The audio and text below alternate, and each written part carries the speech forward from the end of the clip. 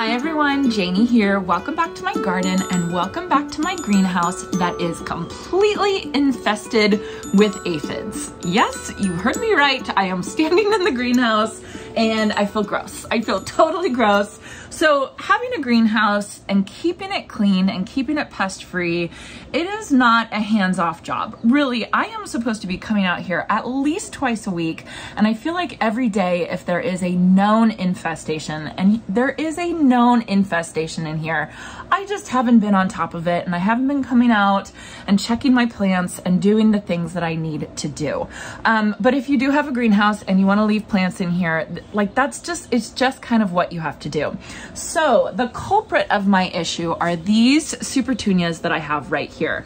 These I purchased at the end of last season for a little test and the test completely failed uh, if, if, you guys were wondering but what I wanted to do is since I live in zone 9b and our last frost is technically February 28th you know around that time um, we always have the ability to plant annuals way ahead of almost everybody else in the country. I'm sure there's a handful of you that have an earlier last frost than I do, but it's kind of frustrating because um, a lot of people in my zone have a hard time finding annuals early enough. There's a lot of time that our gardens just sit dormant, not because we can't plant, but because we don't have access to plants because plant nurseries um, mostly are located in zones that are lower than us. So what I wanted to try this year is I wanted to try and get these Supertunias at the end end of the season last year, winter them over in my greenhouse or my plant room inside and see if I could plant them out uh, early, earlier than I could get my hands on super Supertunias otherwise. So there was a couple problems with this. One, this year has been absolutely ridiculous. It's raining today and it wasn't supposed to rain today. I am in a vest and it's, you know, it's spring, you guys. There have been years, I remember it would be February and I would be in a t-shirt, but this year it was really cold and there was no way that I could get these guys out any any sooner than this, right? Um, and so, you know, there's I already have access to Supertunias now at this point. So it's just a matter of this year was just too cold. It really didn't matter. And then I had these plants inside in my plant room slash office. They were so happy in there. They were so happy and so were the aphids. And there must have been like one or two aphids on one of the plants and it just exploded. It absolutely exploded. And I was on top of it when it was inside because that's my office and I don't want aphids, you know, walking around. So I was like spraying off these supertunias basically every day. That's a, that's a really good way to manage supertunias is to actually spray them off. But if you don't get all of them, they're just going to reproduce. Aphids reproduce so quickly that you basically have have to stay on top of it. So when the plants were inside with me, I was on top of it. So all winter I was on top of it. They looked absolutely beautiful. Then when I started my seed starting and I moved them out to the greenhouse, I no longer was on top of it anymore. and I kind of just left them and I would come out and I would water and I would say, oh, I got to spray or I got to spray off the, them off with water. I, when I say spray, I mean spray with water. I did use insecticidal soap a handful of times. I just didn't feel like it was any better than just using water. So I just ended up using water, especially because it's in my master closet is where my plant room and my office is and I didn't want anything spraying in there. Um, so I would, I would come out here, I would water them and I would say, oh, I have to spray. And then I wouldn't spray. And then it's, it, the aphids kind of just took over. So long story short, all my super supertunias are dying. I, I mean, I tried to save a couple of them. I have a couple of them out here right there that I rinsed off. I, I checked over every leaf and I feel like I got most of the aphids. But these guys in here, these guys are just inundated with aphids. Look at how gross. I mean, I did my Master Gardeners video on pests this past week, so I feel like this is kind of appropriate. It's just these poor things. I just did not take care of them well enough. So yeah, so overwintering Supertunias, um, you know, it's not for the faint of heart. and I kind of feel like you have to really, really want them early on uh, if you're going to go through all of that. And, you know, I just, I don't know. I just don't think it's worth it. I think just be patient and just wait for them to become available. Even these, these are my Supertunia Mini Vista Pink Star that I dug out of my three white pots that are over there uh, to save them, to overwinter them. These even got infested with some aphids as well. So these are going in the garbage, sadly, which is fine. I got a whole season out of them. It's these that I'm really upset about. So luckily, my white giant calla lilies that I have potted up, they have not been touched. The aphids are not bothering them at all. Same thing with this, I cannot remember the name of this, something cotton lavender cotton, green lavender cotton. Um, these don't look like they've been touched at all. These look totally fine. The only thing that's bugging these is I got a weed, I noticed right as I started filming.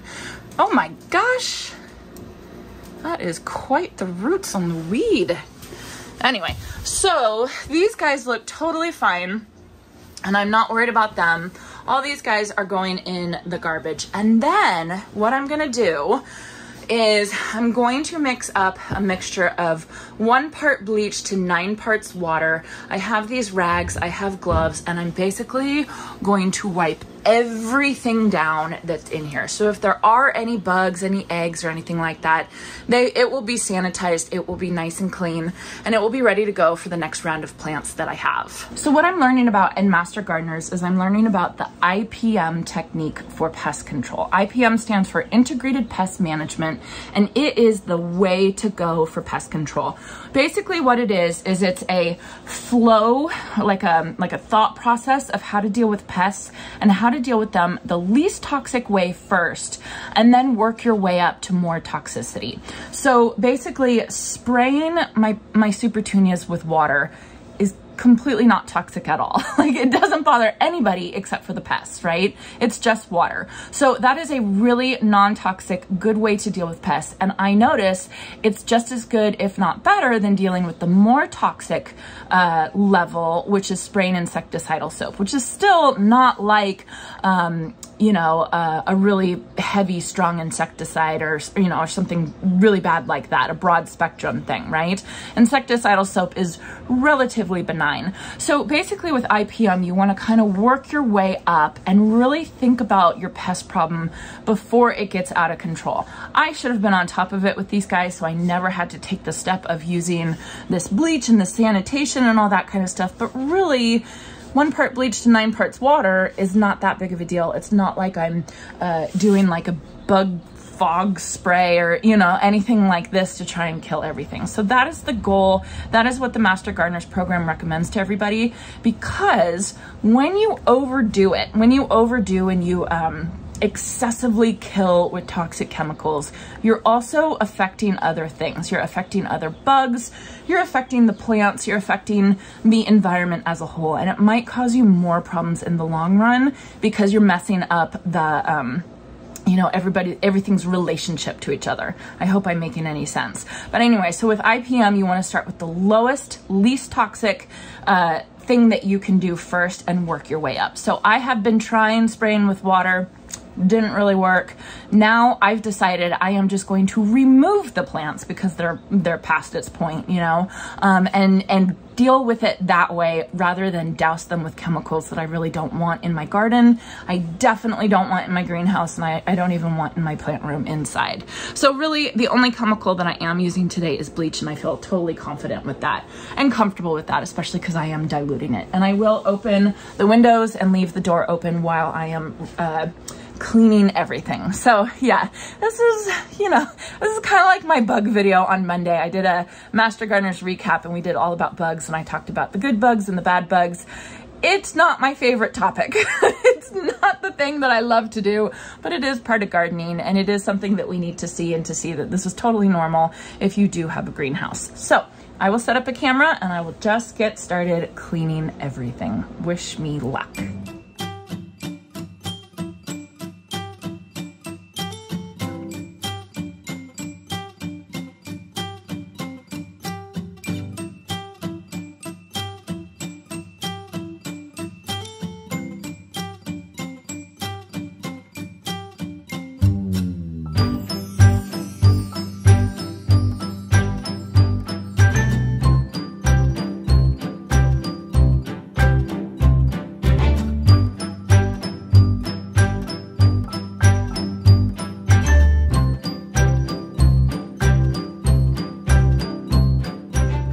Okay, look at this. I thought I had cleaned this area, but if you look down there, there's an aphid in a spider web. I don't think it's gonna get out of the spider web, but it doesn't matter.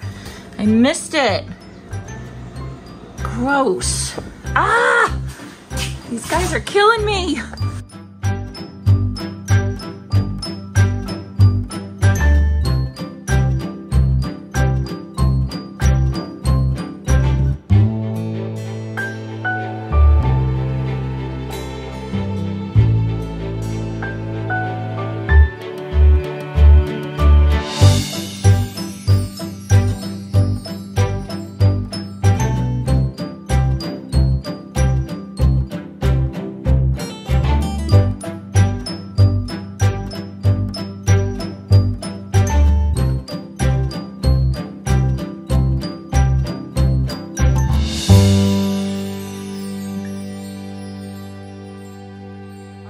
All done.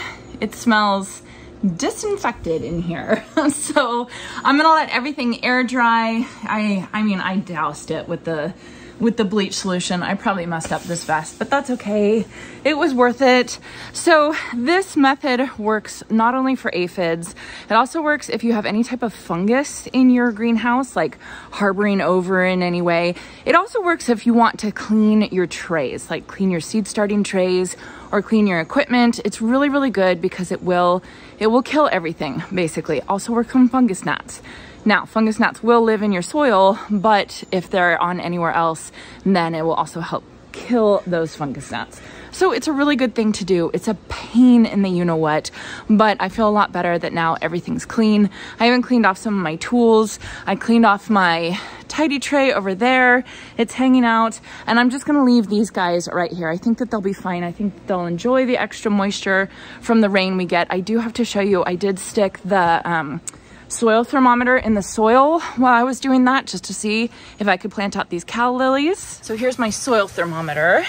So my soil is about 54, 55 degrees Fahrenheit right now. So to plant out calla lilies, and for that matter, to plant out dahlias as well, you want to have at least 60 to 65 degrees Fahrenheit. And then tomatoes too. Tomatoes, you want to have at least 60, if not even a little bit warmer. So soil temperature, super important. You don't want to stress your plants out by planting things out too soon. Even though we're not going to have any more frost, it's, it's just not quite ready yet. It will be ready very soon. So I'm just going to leave them there. If we do get a colder night, I'll just throw them back in my nice clean greenhouse. Yeah, I feel good. I feel accomplished today. So it feels good to know that I didn't use any hardcore chemicals while I was dealing with these aphids. I mean, it obviously didn't deal with the problem, but I don't even think if I sprayed with anything stronger earlier on in the season, I don't even think it would have helped anyway. It was just the nature of trying to hold over these annuals in a warm greenhouse and a warm seed starting room. It, I mean, it just wasn't smart on my part. so anyway, the worst chemical I used today was bleach, so I feel pretty good about that. I'm not anti-chemical at all, just so you guys know, but I am anti-chemical before you've tried the other things. So look into the IPM method, the integrated pest management. They even say, hey, if you have no other option, go ahead and use an insecticide or a pesticide or herbicide responsibly and do it the right way. Um, but try everything else first and know what you're doing, know what you could be damaging if you are using any of those stronger things. So, you know, when you really look into it, a bleach solution might be all you need, or a strong spray of water might be all you need, or increased airflow, or not putting something in the greenhouse, right? Any of those things could be all you need, and you don't need anything else that might harm the rest of your garden and the, the good bugs, the natural predators, all that kind of stuff. So anyway, that's it. I hope you all enjoyed this, and I hope you all have a chance to get in your garden today.